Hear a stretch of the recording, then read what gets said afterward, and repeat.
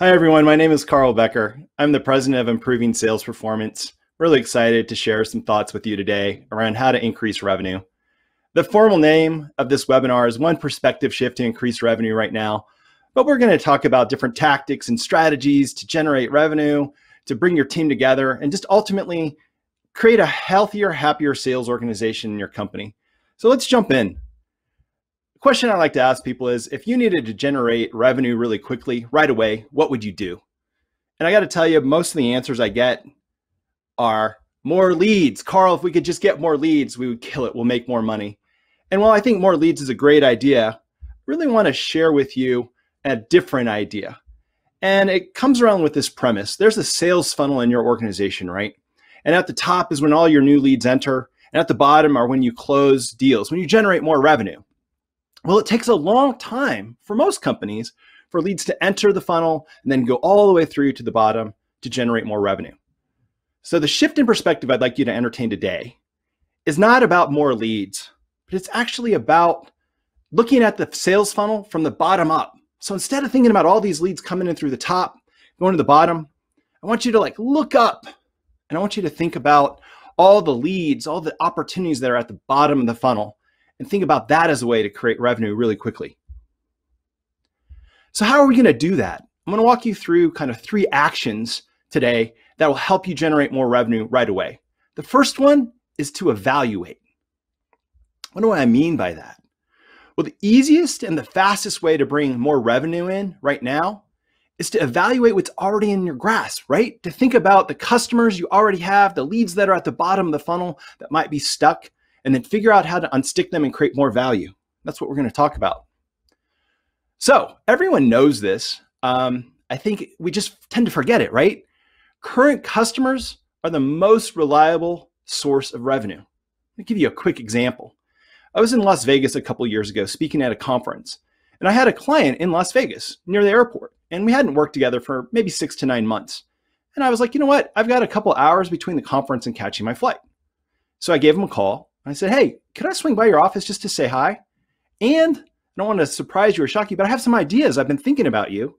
I have some ideas I want to share. I've got another client pretty similar to yours in another part of the country. How about I come in, just reconnect, and I share these ideas with you and we see what happens? He was like, Sure, great. There's a hint right there. If you can create value for your customers, they're always going to want to hear from you. So I come in, we hadn't worked together for probably six to nine months, like I said, and I start, just started to reconnect. How's it going? How's your life? And then I started to share these ideas. I've been working with them ever since.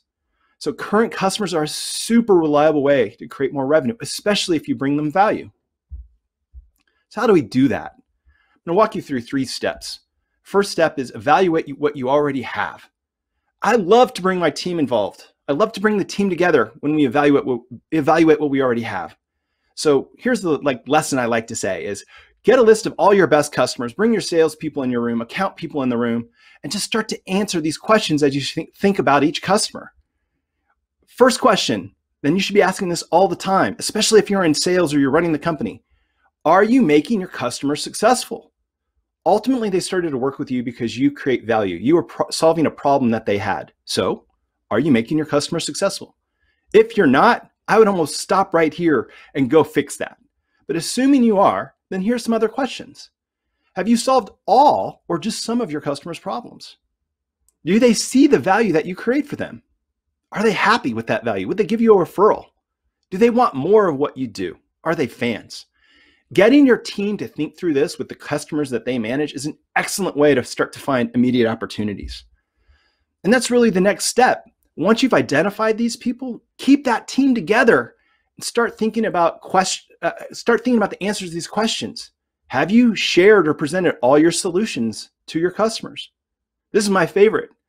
If your customer had a magic wand, what would they wish for? What would that wish cause to make for make happen for them? I mean, we're really thinking about value. What do they still need to achieve? And if we know what it is, can we solve it? So this brainstorm idea is getting everyone together and starting to write down all these different ideas of what we could present or pitch to our current customers, just like I did in Las Vegas. Then what we do is we start to work a plan, right? We create that plan and we work the plan. So I'm going to just say strategize and present your solutions. Get out there, give them a call, reach out to your customers, set a time, Talk about their business goals. Just say, hey, do you have a time for me to share some ideas like I did in Las Vegas? And I got to guarantee if you do this, you will generate more revenue. And you're going to reconnect with a lot of your customers and they're going to be grateful. It's also going to start to create momentum and fill up your sales team, which is also a big secret of creating revenue right away, creating momentum and fostering that momentum with your team. So that's kind of action number one. Action number two is center focus. I want you to think about what I just said the first part of this webinar. What did we do? We started to think about the funnel in a different way, not top, middle, or center and bottom, right? But we started to think looking back up from the bottom. So center focus means focusing on the leads that are stuck in the middle. I've got to tell you, they're probably stuck. Okay. And if you can unstick them, there's a ton of gold. There's a ton of opportunity there. So I want you to start to now think, change your perspective about the middle of the funnel, not about new leads like we originally talked about, not about the bottom of the funnel, but literally who's in the middle of the funnel. There's a ton of untapped gold there. Let me tell you a story. Um, I have a, a lot of different clients, but one of my clients, it's it's December, and we're trying to figure out how to finish strong in December, how to finish strong in Q4. And we started to go let's implement this. Let's look at who's in the middle of the funnel. So I scheduled 90 minute meetings with all the different salespeople. I had them come with the top five leads that they've talked to that are stuck. And then I asked them, what would you do to unstick them? And I kept an open mind, and I told the rest of the team to keep an open mind too. And we ultimately agreed on a solution. Let me tell you what it was. This customer has online training. And in December, a lot of times we're really busy, right? Holiday seasons, end of year, end of school, just a lot of change in our lives. So one of the salespeople said, you know what? What if we could offer an additional 30 days of this program so people could start in December and not feel under pressure that there was a time limit of how much coaching they needed for this online training? We, we literally extended uh, the offering by 30 days and we were able to bring a lot more sales in into, into December because it gave that cushion. It, it's what the customer wanted. It's a customer centric approach, and your salespeople know what your customers want. So, in this model, think about your ripest leads, and your salespeople know what they are. And then ask them these questions What could we do to improve sales? And they're going to tell you. And I would just encourage you to listen and get into action. The second part is thinking about choke points, right? um, if, if you have a ton of KPIs in your sales funnel in your CRM, then you already know where your populations are growing and getting stuck and they're not moving. Typically, the middle of the funnel starts to balloon wider and wider and wider if something's broken or stuck. So, what I'm encouraging you to do is to identify these choke points within your funnel, get into action about it. There are some steps that I generally tell people to do. Look for large and growing populations in your funnel. Use qualitative and quantitative data. Ask your team, where do you think people are getting stuck? And then look at the data too. And then start to think about how you're going to get into a solution by revisiting the steps you take to move leads down and through your funnel. Like literally figure out where they're stuck and start to think about ways to unstick them. And that leads us to number three organize and mobilize. I'm going to tell you a story and then we can go through a couple of these kind of action items. But the story is this I have another client that generates 300 to 500 webinar signups twice a month. They do webinars twice a month. And typically they have 300 to 500 people sign up for those webinars. A lot of people, right? So over time, this population of people that have signed up for webinars just gets bigger and bigger and bigger. And what I started to realize was only about 25% of those people actually attend the webinar. And of that group, only about 20 to 30% book an appointment. That's the next step in the sales process. So we started to go, wait, what's going on here? And what's going on here is there's a big group of people that raised their hand. I want to learn more. I want to go to a webinar. Or I sat through the webinar, but I didn't take next action. There was something missing. So we decided to revisit the process and encourage the salespeople and start to put kind of a pilot program in place to call attendees before they actually attend, people that signed up, and also to uh, call all the attendees that didn't book appointments. And guess what? We generated about another 10 to 20% lift in appointments every webinar by doing that. And that in turn generated a 10 to 20% increase in revenue too, simply by revisiting what was already going on and unsticking these leads. So when I tell you there's gold trapped in your funnel, there is. And the way you get through it is what we just talked about and then getting into action. Organize and mobilize. So again, I say ask your team, what are new ideas we can do to improve the current sales process? How can we get into action? Who's going to get into action? Who owns that? And how are we going to measure it? And then finally, how are we going to review these, these metrics, this performance, and optimize it based on actions? In my example, I mentioned a pilot. I would say learn fast, fail fast, but get into action and see if you can't start unsticking these groups within your funnel, probably in the middle of the funnel that are stuck, and you're going to generate more revenue a lot faster and a lot cheaper and a lot easier than having to go out and find a bunch of new leads and bring them in. All right, let's move to the next one. So, the third action I'd like to encourage you to think about gets back to the sales team. And this will absolutely boost revenue. It's incentivizing outcomes. So, what do I mean by that? Um, I first, I believe that your sales team, we have to believe they have positive intent. They're there for a reason. They're professionals. And whether you want to get into a conversation about are there ways to train them and make them better, absolutely. Any professional sports team, they can always get better with more training and more teaming. But what I want you to think about is just unlocking the power of your team. Okay. And the way I would do that is by really incentivizing outcomes. What are the outcomes you want to generate more revenue and start to incentivize them? And I'm going to talk about how I incentivize them, which is a different take on probably most of the ways you've heard about it or done it in the past. The first thing I would tell you is start to really think about all the different members of your sales team. Can you picture one of them? Which one's really competitive? Do you have him or her in your mind? Which one's like really collaborative? Is always there to help? Which one just loves it when the team gets together? He or she's so social. They're like, yeah, I love our sales meetings. We've all come together. They're joking around and it feeds them, it fills them back up. Well, those are all hints and tricks that you can implement to understand what motivates them. Because here's the tip motivation is never one size fits all. Not everybody wants to compete, not everyone wants individual accomplishments. Not everybody's like, yay, team. If you think about your different salespeople and realize that each one of them have kind of like dials or things that they they really love, then you can start to build an incentive that matches those characteristics. And that's what I'm talking about.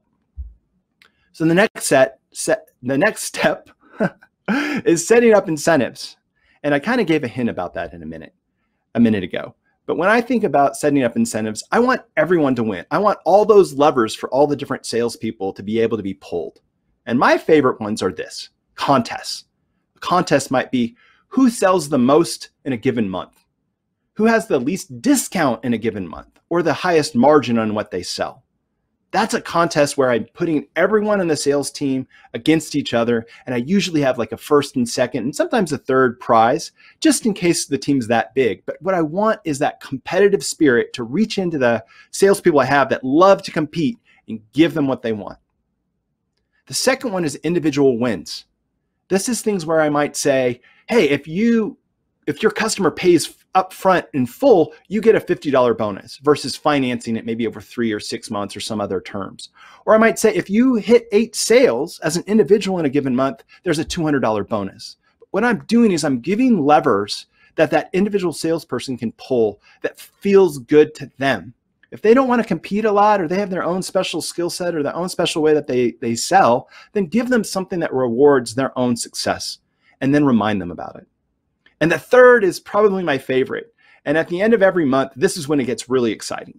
And it's when that you bring the team together and you're like, hey, if we hit 200,000 in revenue this month or 500,000 or a million or 2 million or whatever the number is, we all get bonuses and you i got to promise you this if you do this that the excitement individually and as a team just starts to build as you get to the end of the month. And they start to collaborate your team because they all want to win. And oftentimes i'll do like at, at 200 and 250 and 300 or something like that where they can see it ratchet up and they can start to help each other and collaborate. Because ultimately salespeople if you can bring out the best in them they're going to perform and you're going to love it. So those are the three things i typically do when i set up incentives the last part, this is pretty important.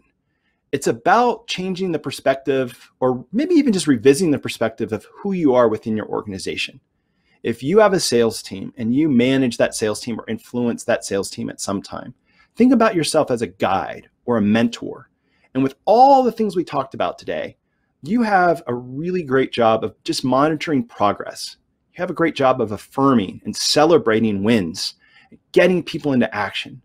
So, anybody that's a sales manager out there, I want you to remember these five things build relationships with your salespeople, be a guide and a mentor. Be able to just reach out and say, Hey, seems like you're having a rough day, or that sounds like a rough sales call. Do you want to just talk about it a little bit and process things with them?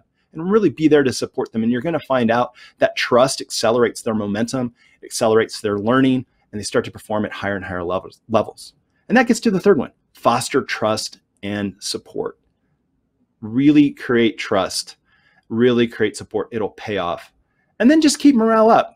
That always accelerates success. If you're having a rough day and you're about to talk to your salesperson, do everything you can to be positive.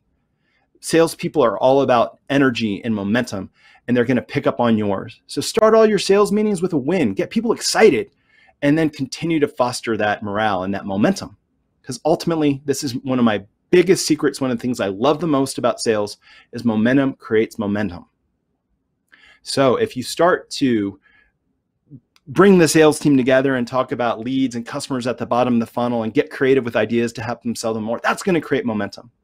If we start to talk about leads that are stuck, and we put new sales processes in place and they see success, that's going to create momentum and even more momentum. And finally, if we put these incentives in, in place, whatever you dream up and the team starts to achieve them, that's definitely going to create momentum. So, with that, I just want to tell you a kind of a quick recap. First, thanks for letting me share these insights with you. Second, these, these ideas really, really work. And I'll just review them one more time. So if you want sales right away, like in a short period of time, certainly you can go find new leads. You can put more money into digital. And, and I'm never going to argue those are bad ideas, especially if you have a proven process and you have a repeatable, scalable kind of sales engine or sales methodology. But if you don't have that and you're not doing the three things I'm about to, I guarantee if you do them, you will generate more revenue. The first one, start thinking about your sales funnel, not just from the top to the bottom, but from the bottom up. As a reminder, customers' leads that are at the bottom, they are the closest to revenue. And with a little bit of creativity, you can get there. You can unlock that revenue. The second is look at your funnel and kind of think about where populations are growing and stuck. There might be just something really subtle. In my case, in the webinar, we just needed to call a bunch of the people that attended and invite a dialogue. And that in turn generated appointments. And those appointments generated revenue. So I encourage you to think about stuck populations and unstick them. And the last one is really just find ways to connect with your team, unlock the power of the team. And I got to tell you, creating an incentive plan that aligns to your goals, the activities that you want, is an excellent way to do that. And remember, you can do contests, you can do individual performance, and team based performance. So, in summary, thank you very much Again, my name is Karl Becker. My company is Improving Sales Performance. If you like what I had to say, you might really enjoy my book, Set Up to Win. It's all about the three different frameworks to build a high performing sales organization. I also have a lot of resources on my website, newsletters, sending out blogs and tips and tricks all the time.